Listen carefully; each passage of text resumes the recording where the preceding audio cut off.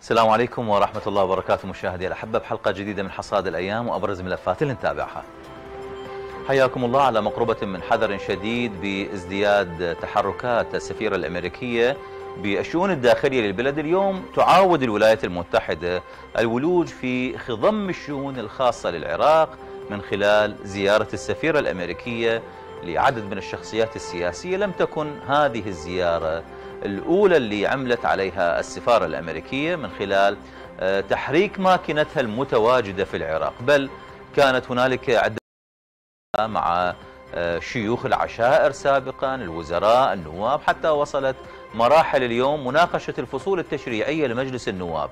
بالتالي هاي التحركات تجعل الأوساط الشعبية والسياسية تضع الاستفهامات حول الأهداف اللي ترومها أمريكا من خلال هاي اللقاءات والمناقشات مع المتنفذين في السلطة. في ملفنا الثاني مشاهدي الأحبة من حصاد هذه الليلة بصورة محاولة لفت الانتباه. هكذا يبدو نشاط تنظيم داعش الإرهابي عبر سلسلة من الهجمات اللي تضرب مناطق متفرقة من البلاد تشتد حاليا مؤشراتها عند ديالى والطارمية. هاي تطورات تنامى من خلالها. مخاوف مع صيغة العمل اللي تتبعها هذه المجموعات. فرق آه، تشتت الجهد وتربك الوضع غير أنها لم يكن لها آه، أو لم يكتب لها النجاح. العمليات النوعية اللي تقوم بها القوات الأمنية عبر آه، مراصدها الاستباقية. كسرت شوكة التنظيم في الصحراء والقصبات. هاي ملفات راح نتابعها ضمن حصادنا لهذه الليلة. ندعوكم للتفضل. بمرافقتنا ومتابعتنا حتى نناقشها مع ضيوفنا الكرام. بكل لقاء مع السفيرة الأمريكية وهي شخصيات سياسية آه، تشتعل مواقع التواصل بسيل من آه، إبداء الرفض المخاوف إزاءها وبالرغم من استخدام أمريكا عدة أساليب لفرض السيطرة لكن الحكومة العراقية أظهرت صلابتها وقدرتها على إبعادها. لكن اليوم السفيرة الأمريكية بتعديها المهام الدبلوماسية الحقيقية. لابد أن آه، توضع أمامها النقاط التي لا يمكن عبورها مهما كانت الأجواء داخل البلد. نفتح هذا الملف مشاهدي الأحبة ونناقشه ويا ضيوفنا آه، لكن بعد أن نتابع التقرير اللي أعدته الزميلة نهى الشمري. تعود واشنطن عبر سفيرتها في العراق لتفعيل خطواتها التي وصفت بالاستفزازية من خلال لقاءات مع الوزراء والنواب وشخصيات سياسية عراقية. زيارات يشار إليها بالشبهة والمخاوف التي تحملها.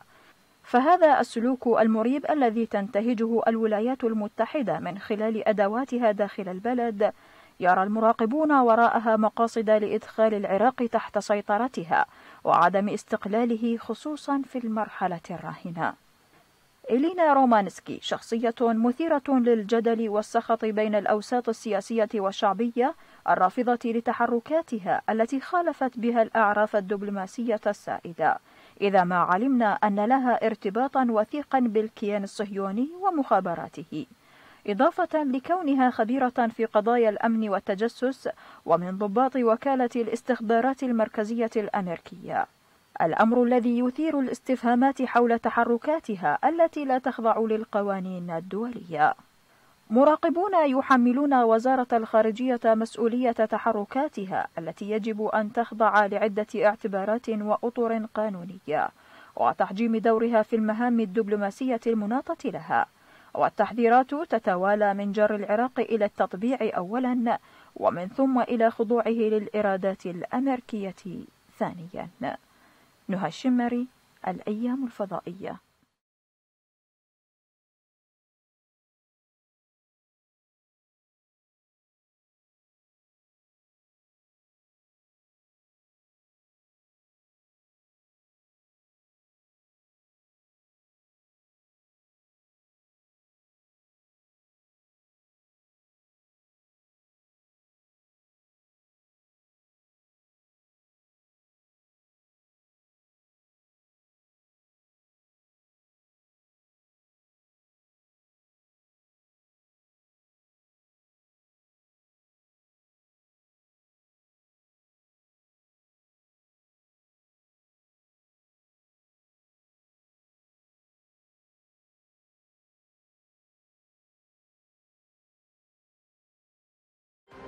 حياكم الله مشاهدي الأحبة في آه، هذه الحلقة ونفتح الملف الأول والناقشة مع ضيوف الكرام اللي نرحب بهم بالأستوديو ضيوفا. أعزاء الدكتور هيثم الخزعلي عضو مركز الهدف التحليل السياسي. أهلا بك أستاذ هيثم.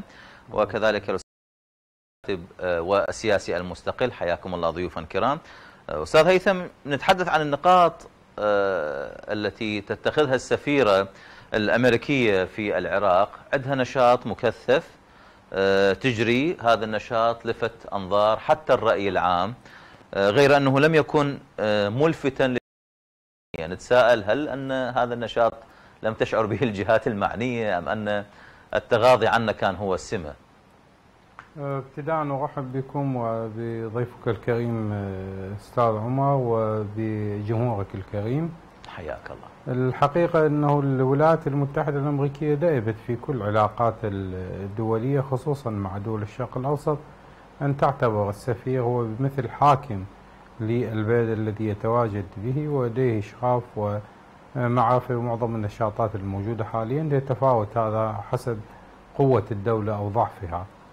آه، المشكلة أنه لابد أن يكون لدينا أمن سياسي يضبط حركة السفراء والسلك الدبلوماسي أمن دبلوماسي عفوا يضبط حركة السفراء والسلك الدبلوماسي الأجنبي في داخل البلد ولقاءاته سواء مع شخصيات سياسية أو أمنية أو آه، صناع رأي أو جماعات ضاغطة مثل العشائر وغيرها. آه، الحركات المريبة للسفيرة الأمريكية تحاول أن آه، تفرض وجودها في مختلف الطبقات سواء كان لقاءاتها مع شخصيات سياسية وتدخلها بالشأن السياسي أو لقاءاتها مع شخصيات عشائرية ممكن أن تؤثر في الشارع العراقي. وبالتالي لابد أن تكون هناك آه، حدود لهذه الحركة. لابد أن تكون هناك التفاتة من قبل الحكومة العراقية لهذه آه، الحركات كانت هذه الاتفاقات أستاذ هيثم منذ البداية ومنعت هذه الزيارات إلا بتنسيق دبلوماسي عبر وزارة الخارجية ولكن هل كانت آه، مقصودة آه، السفيرة الأمريكية بهذا الإجراء ولماذا لم يتم آه، العمل به؟ الحقيقة الولايات المتحدة حتى في كل القوانين الدولية لا تلتزم بهذه القوانين وتعتبر نفسها فوق القانون. هذا خروج عن اللياقات الدبلوماسية وأنا ذكرت أنه لابد أن يكون هناك تصرف من قبل الحكومة سواء من وزارة الخارجية أن يتم استدعاء الأشخاص الذين التقوا بهم أن يتم تنبيه السفيرة الأمريكية على هذه آه، اللقاءات. هذا الأمر آه، غير مستساغ في العلاقات الدولية خصوصا إذا كان السلك الدبلوماسي لديه نشاط أمني كما أثبتت التجربة سابقا في العراق بأن السفارة الأمريكية لها أدوار أكثر من أدوار دبلوماسية وخلفية السفيرة أيضا وعملها الأمني آه، يحتم على الحكومة العراقية أن تكون ملتفتة لهذه النقطة.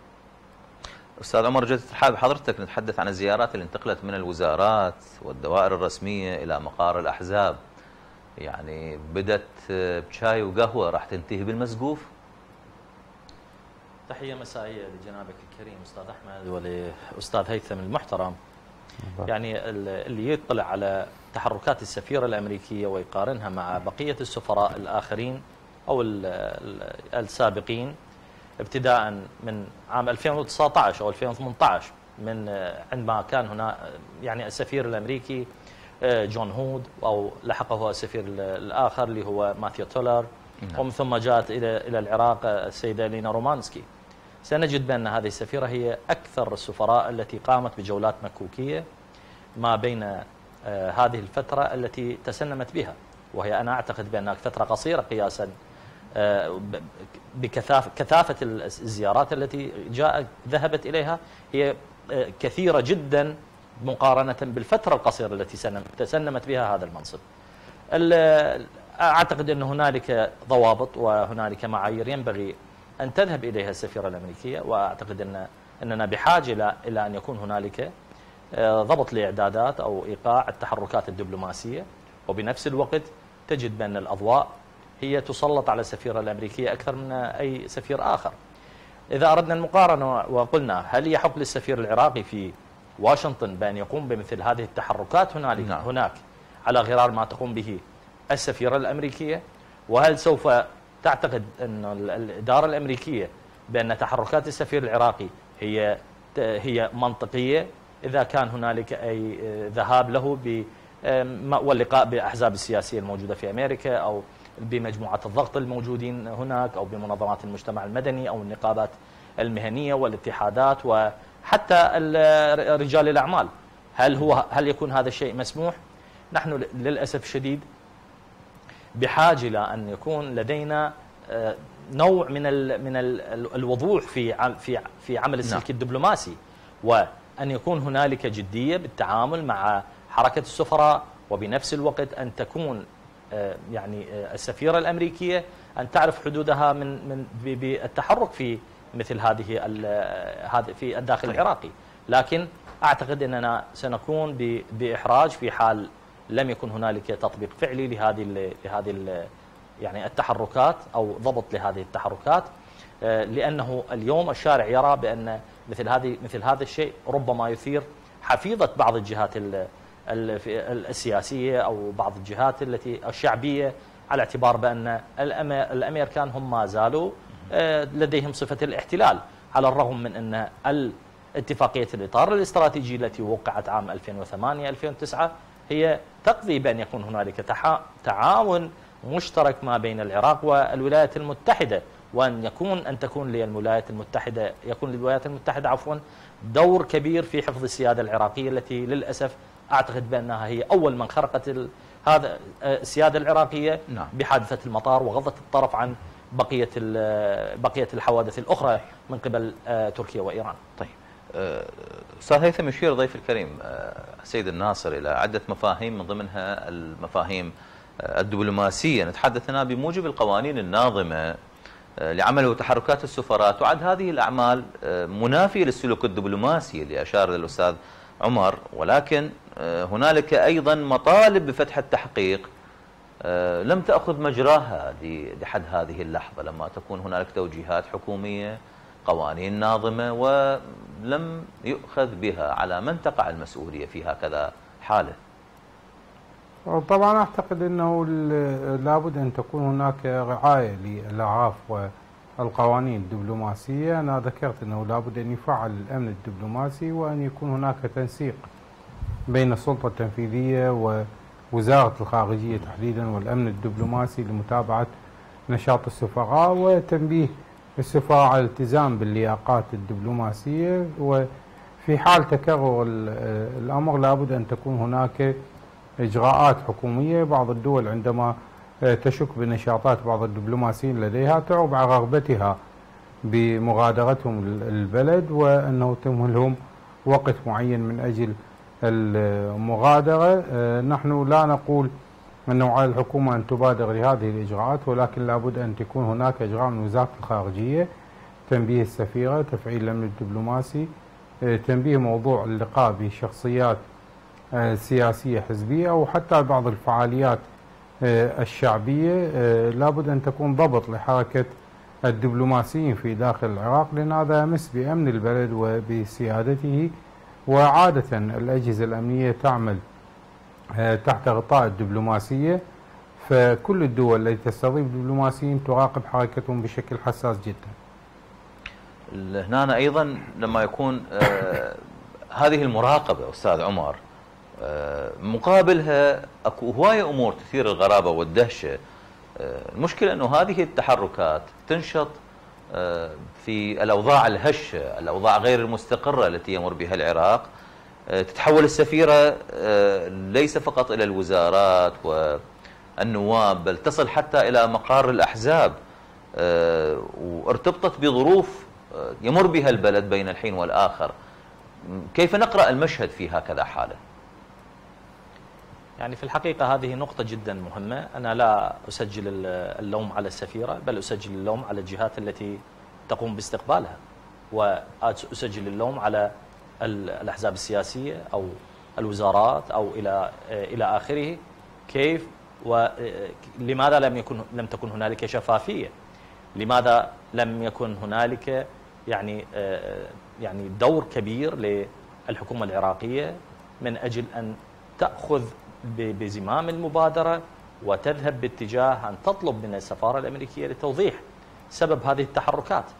هل إذا كانت هذه التحركات هي من أجل دعم الحكومة العراقية على سبيل المثال أو دعم المؤسسات ودعم منظمات المجتمع المدني فينبغي أن تتحلى أن تكون الشفافية هي الخيط الفاصل ما بين الخطأ والصواب وما بين الظن أو الشك واليقين.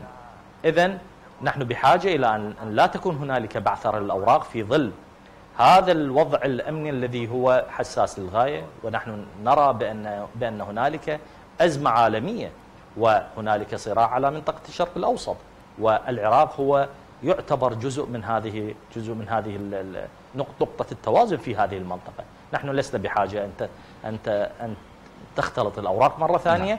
نحن في طريقنا إلى أن يكون الاستقرار السياسي والأمني والاقتصادي في أولى بداياته ومثل هذه التحركات باعتقادي هي ربما سوف تربك القرار السياسي الداخلي في العراق. طيب هل أن زعزعة الوضع الاقتصادي والأمني مرتهن بهكذا زيارات أستاذ هيثم؟ لما تكون هنالك عدة لقاءات للسفيرة مع الوزراء والجهات السياسية وجنابكم شخصتوا بأن هذا يعد خرقا كبير. هل هنالك من اتهام بزعزعة الوضعين الأمني والاقتصادي؟ وإحنا نشوف تدهور الوضع الاقتصادي بدأ واضحا على المشهد.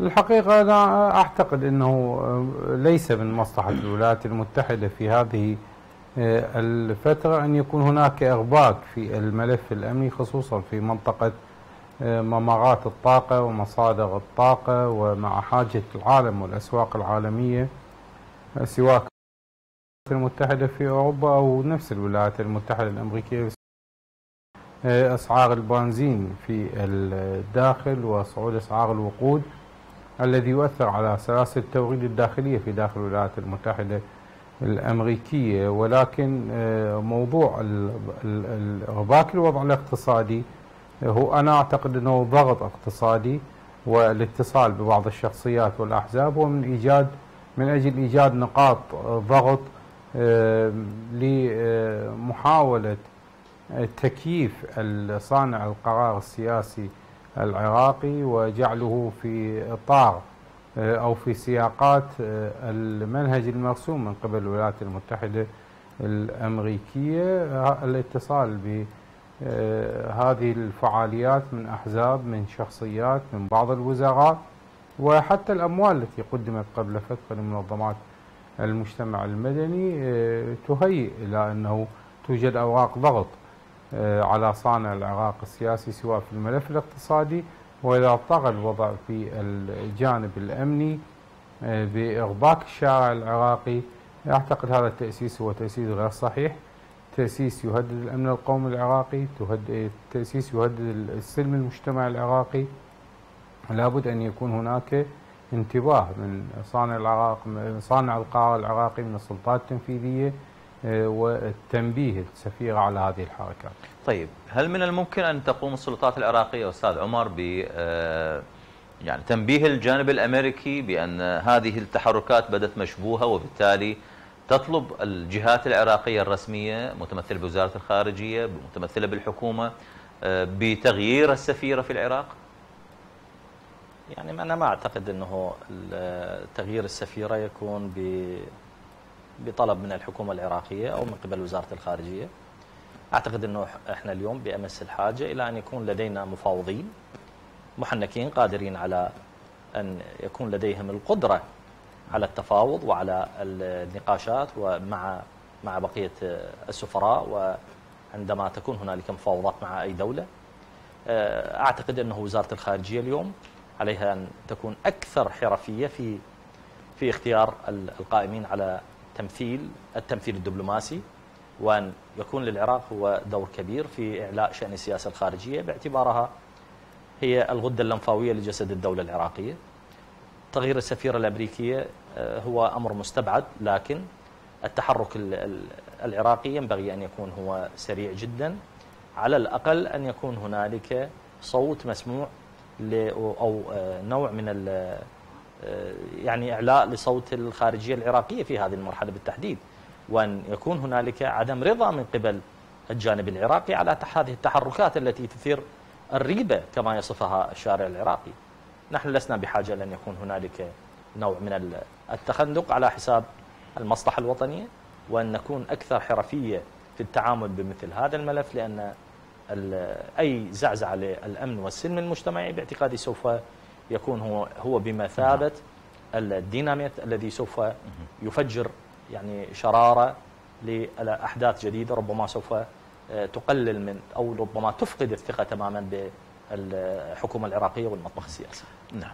أستاذ هيثم آه، يركز السيد آه، عمر على عدم زعزعة الأمن والسلم المجتمعيين. وهنا راح تفرض عندنا حالة جديدة بأن المرحلة اللي وصل إليها العراق يعني ما تتحمل ولا تحتاج مشاكل إضافية بقدر ما أنه هاي المرحلة تحتاج التهدئة تحتاج تصحيح المسار آه، فرض يعني مسارات ومساقات لم تكن بالسابق موجودة حتى تصل بالعملية السياسية إلى متبنيات جديدة. يعني لما يكون هنالك تحرك للسفيرة بمسارات مشبوهة كيف نصل إلى ما حددته الحكومة ضمن برنامجها ما يريد البرلمان آه، ضمن النسق السياسي وسط كل هذه التدخلات؟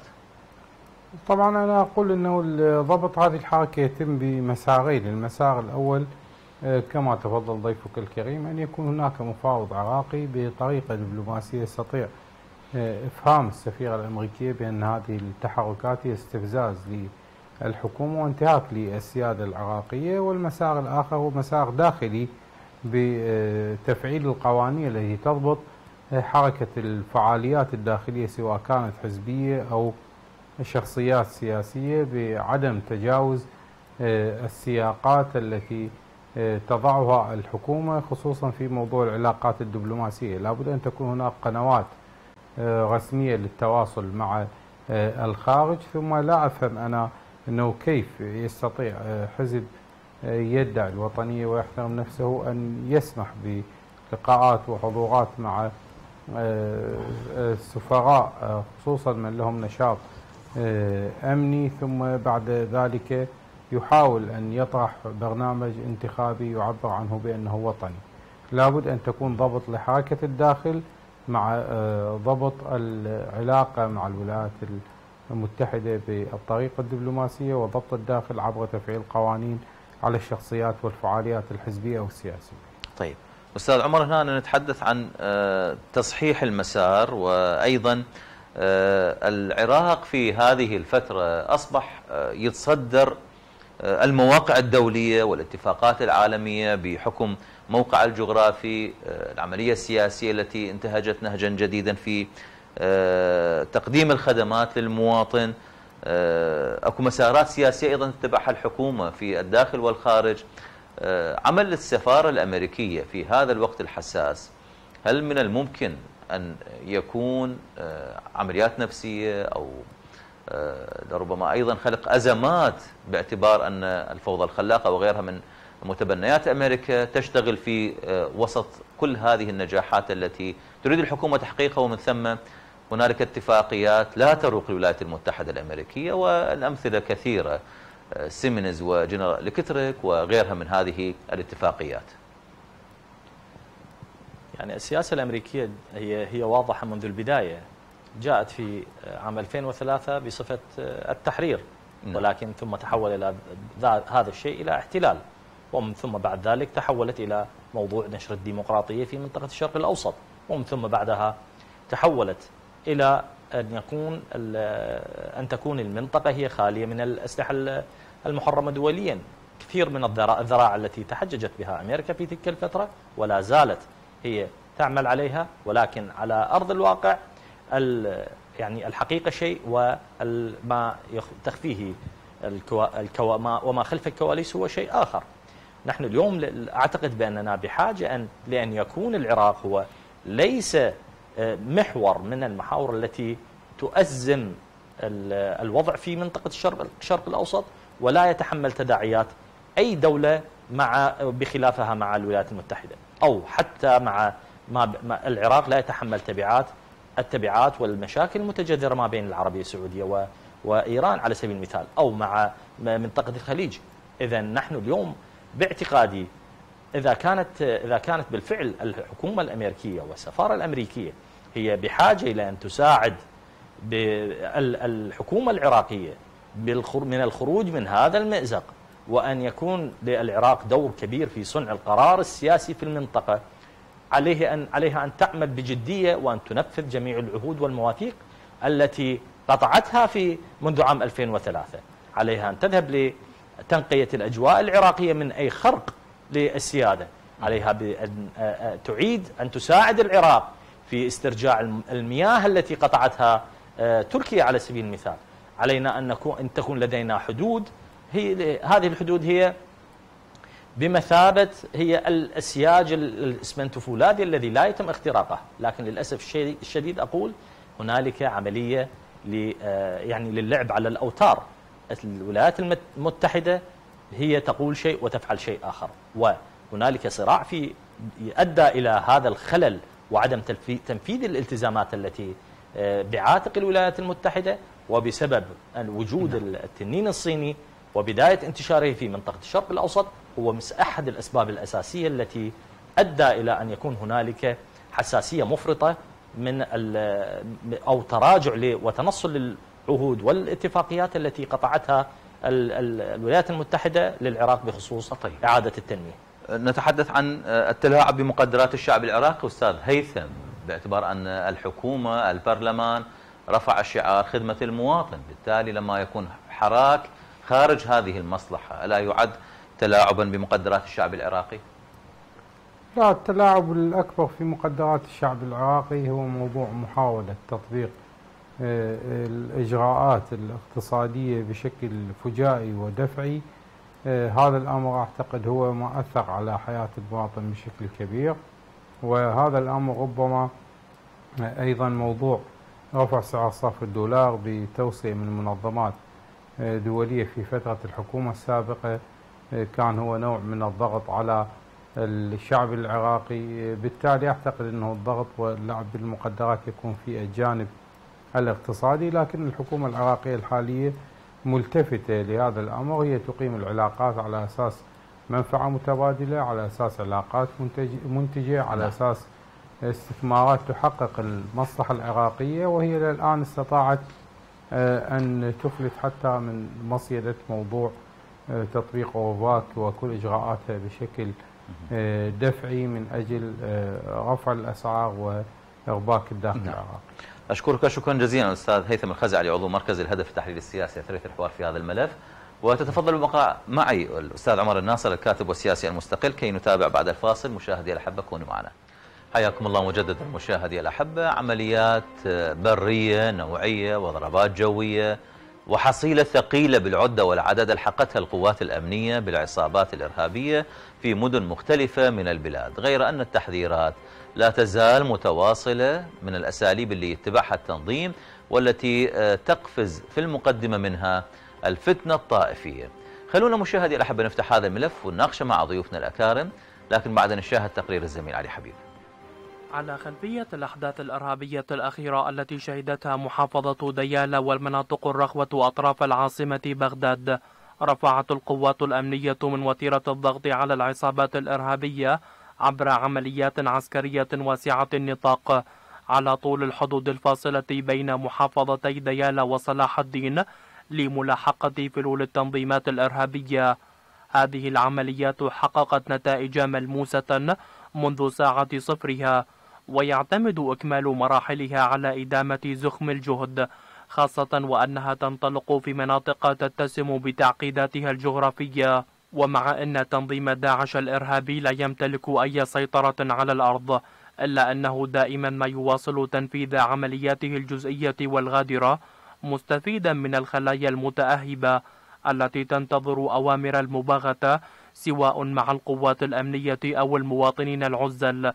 إلا أنها وبحسب خبراء الأمن غير مؤثرة وتمثل محاولة يائسة لفك الضغط المستمر على فلول الإرهاب المنهزمة نحو الكهوف وأعماق الصحراء والقصبات. ومع أن الوضع الأمني تحت السيطرة إلا أن التحذيرات لا تزال متواصلة. في نية التنظيم شن هجمات إرهابية خلال المرحلة المقبلة وبذات السياق الذي يعمل عليه. بعد فقدانه السيطرة على المساحة الجغرافية ومعتمدا على إذكاء الفتنة الطائفية غير أن الجهود الاستثنائية حققت تقدما واضحا في مسك المناطق الرخوة أمنيا والتي ظلت لسنوات عدة تشكل تهديدا للنقاط العسكرية والمناطق السكنية. علي حبيب الأيام الفضائية.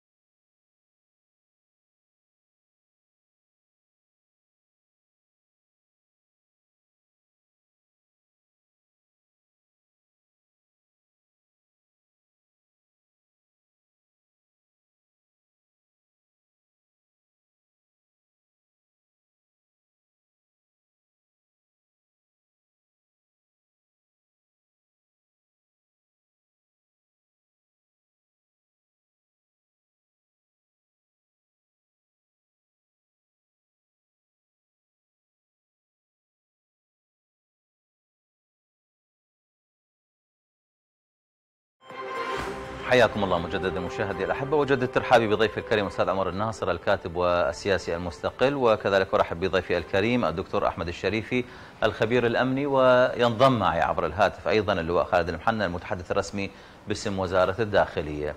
أبدأ مع حضرتك دكتور أحمد الشريفي يعني داعش الإرهابي بعد أن خسر المعركة نتحدث عن آه، خطط الجديدة أنه سجلت أمنيا بأنه عمد إلى اللعب على أوراق الفتنة الطائفية ووعورة المناطق الجغرافية. كيف تنظر إلى هذا التكتيك؟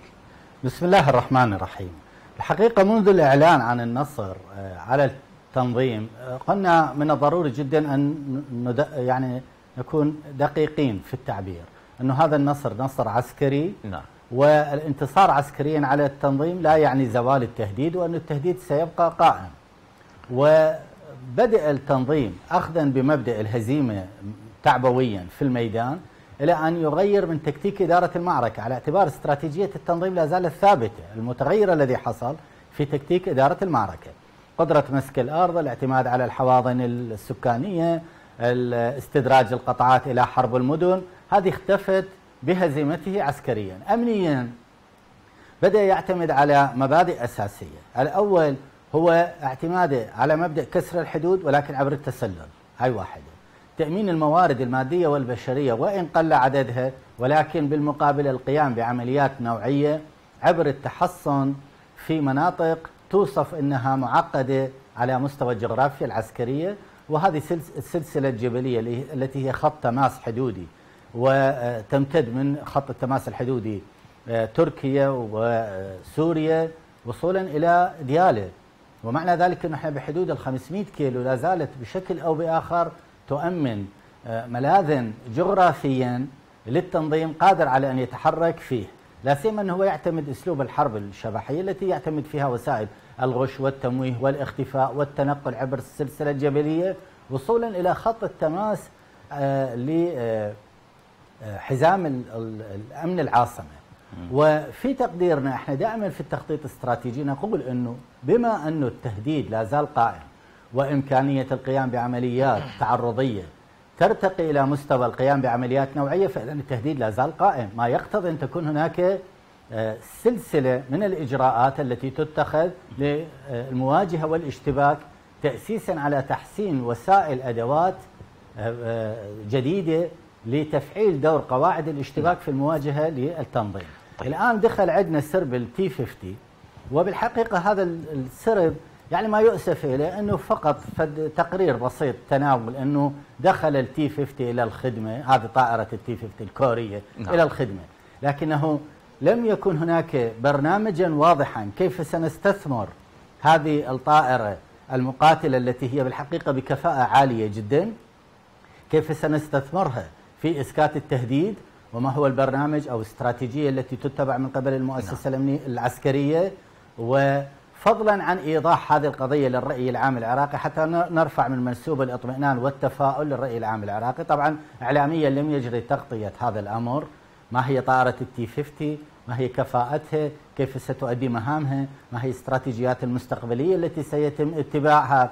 علما أنه هذه الطائرة هي تمثل الخط الأول الذي ممكن أن يصل الطيار إلى طائرة الأف 16 نعم. يعني هي قريبة من حيث المواصفات الفنية والقتالية جمالية هذه الطائرة أنه نستخدمها للتدريب تمهيدا لتحويل طيارين على طائرة الأف 16 نعم. وفي ذات الوقت نستخدمها قتاليا بإمكان هذه الطائرة إذا فعلناها ببرنامج آه، دقيق واستثمار أمثل ممكن أن نحقق مسكن للجو لإسكات التهديد في المناطق الجبلية أو في المناطق المفتوحة بالصحراء الغربية. وهذه أيضا يعني نضعها أمام نعم. السيد القائد العام للقوات المسلحة أن يلتفت إلى هذه المسألة. هذه الاستشارة أستاذ عمر الذي التي يتفضل بها الدكتور الشريفي من المشخص أيضا أن خاصرة بغداد نقصد بها الأزمة الأمنية لا تزال الظروف دون مستوى السيطرة والطموح المنشود من قبل القوات الأمنية. كي تكون هذه الخواصر الرخوة مساحات قوية وتؤدي الحماية المطلوبة. وهنا نشير أيضا إلى نقطة عندما يكون سد للثغرات يقابل تجاوب سياسي مع ما يصبو إليه تنظيم داعش من إشعال فتن طائفية. وتعرف أنه هذه الخواصر الرخوة من مكونات معينة.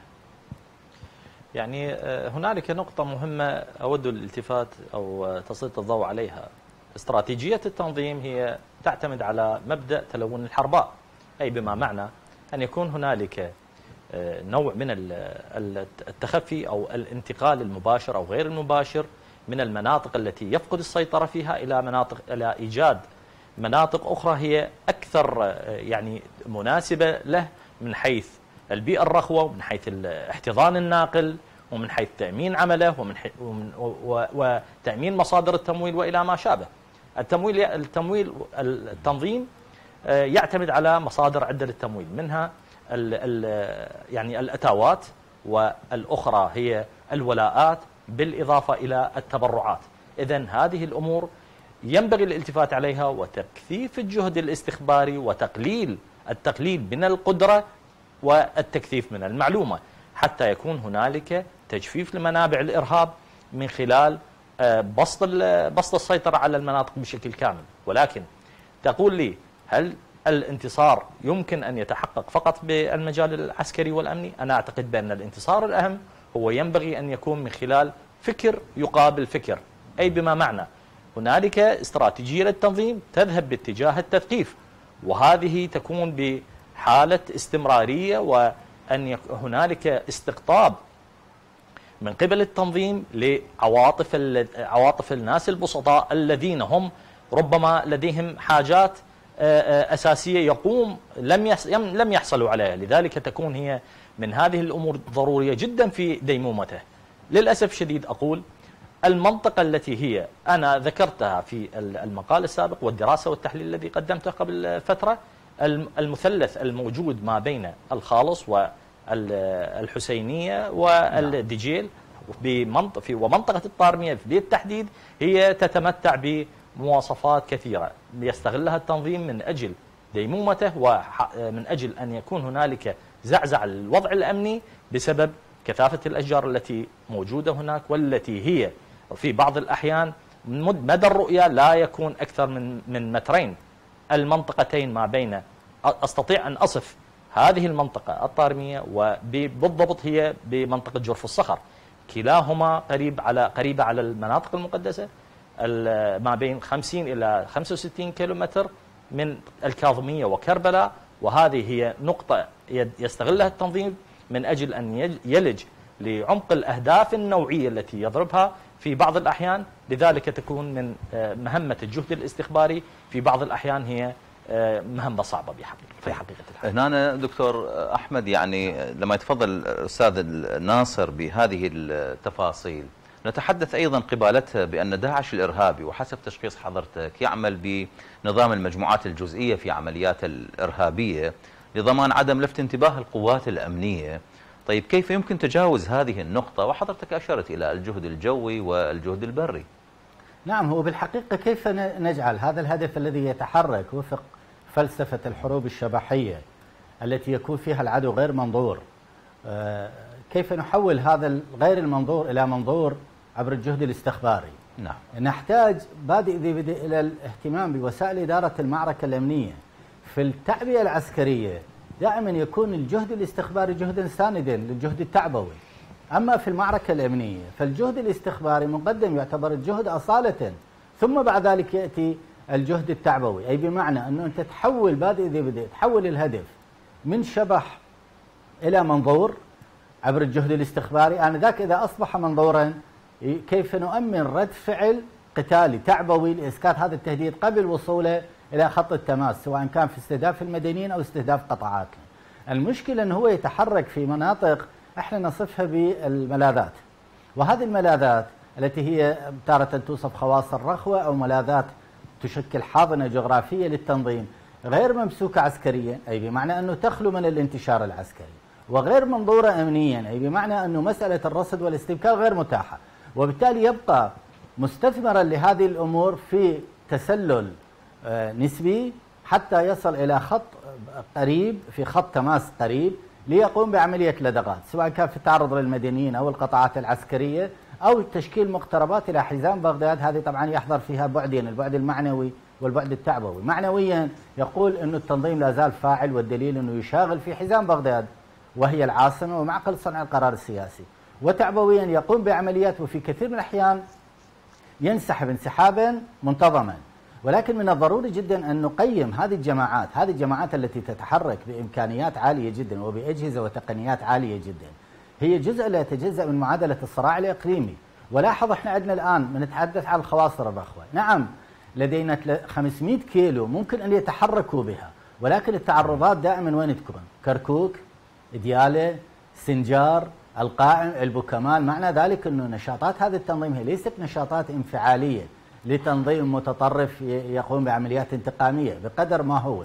آه، منظمة تتحرك ضمن الصراعات الإقليمية والدولية. فإذا يجب أن نقرأ المعادلة قراءة بعمق ونوظف الموارد سياسيا نوظف الموارد أمنيا عسكريا. ولكن بالفعل العسكري مسألة رد الفعل مطلوبة. إحنا عندنا ندرب طيارين على ما يطلق عليه بالرياكشن رد الفعل. رد الفعل كلما كان سريع إلى القطاعات العسكرية والأمنية. معنى ذلك سنستطيع أن نحقق ما يطلق عليه بالعمليات الإجهاضية. أعني بالعمليات الإجهاضية.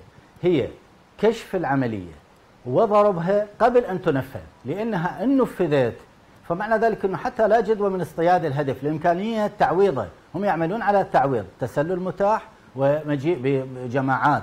ربما تكون كامنة أو متسللة لتعويض آه، الخسائر التي في الميدان وبعض الأحيان إحنا نشتبك مع أعداد لا تتجاوز أصابع اليد الواحدة فإحنا بالمعادلة بالحقيقة نحتاج إلى جهوزية نعم. وإلى يقظة تامة من لدن صانع القرار السياسي على مستوى التنظير والإعداد والتهيئة لإدارة المعركة أي بمعنى الموارد الميدانية لتأخذ مداها في الاشتباك طيب. ولكن صناع القرار السياسي يجب أيضا أن يأخذوا مداهم في الحيطة والحذر والقراءة وعندنا نقطة مهمة. نعم.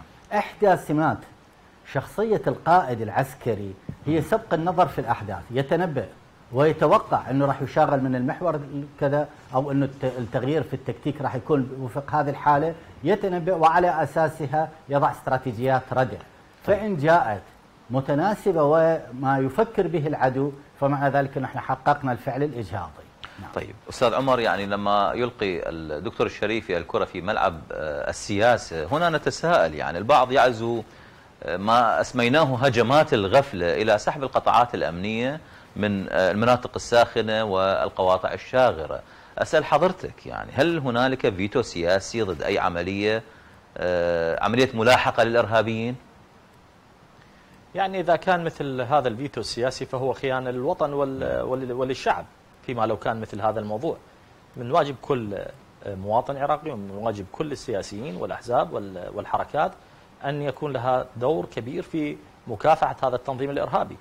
لكوننا رأينا بأن نار الفتنة الطائفية التي أحرقت الأخضر واليابس قد يعني آه، ربما سوف تحرق العراق بأكمله. لا سامح الله في حال لو كان هنالك أي رجوع جديد لهذا التنظيم. نحن لا نعول كثيرا على أن تكون هنالك مناكفات سياسية أعتقد بأنه كلما انخفضت مثل هذه المناكفات كلما انخفض صوت الجماعات المتطرفة لأنهم يجدون بمثل هذه المناكفات بمثابة المسارات التي هي تتخذها مثل هذه مثل هذا هؤلاء الإرهابيين من أجل الولوج إلى إلى عمق الأهداف النوعية. إذا رأيت ورجعنا بفلاش باك إلى الوراء ستجد بأن استراتيجية التنظيم هي مبنية على على على بشكل كامل على خلق الأزمات، أي بما معنى؟ إذا كان هنالك أي نوع من ال ال ال يعني المشاكل السياسية تجد بأن عمل التنظيم هو يبدأ بالازدياد ويكون فاعل شيئا فشيء. اذا نحن بأمس الحاجة في هذه المرحلة بالتحديد لأن نقيم ونعيد الثقة بمصادر صنع القرار السياسي والمواطن وأن يكون هنالك يعني نوع من الإعلام الداعم لكل الأجهزة الأمنية وان لا نستهين بقدرات جهاز المخابرات العراقي أو الأمن الوطني أو الحشد الشعبي وخصوصا في نعم. تلك العمليات التي ألقي القبض على آه، أخطر القيادات الداعشية وهو عبد الله قرداش وأعتقد بأننا سوف نكون بحاجة إلى أن يكون هنالك تعاون حقيقي ما بين المواطن العراقي والأجهزة الأمنية على غرار ما تقوم به الدول المتقدمة عندما تذهب إلى إعلاء شأن يعني شأن شأن المعلومة وتقلل من من القدرة نعم. من باب اعمل ودع اصمت ودع عملك يتكلم. أنا أشكرك شكرا جزيلا الاستاذ عمر الناصر الكاتب والسياسي المستقل رافقتنا في الملفين والشكر الكثير لحضرتك الدكتور أحمد الشريفي الخبير الأمني اثرت الحوار في هذا الملف. وشكري موصول لكم مشاهدي الأحبة على حسن المتابعة. لقاؤنا في الغد. يتجدد بمشيئه تعالى. في أمان الله.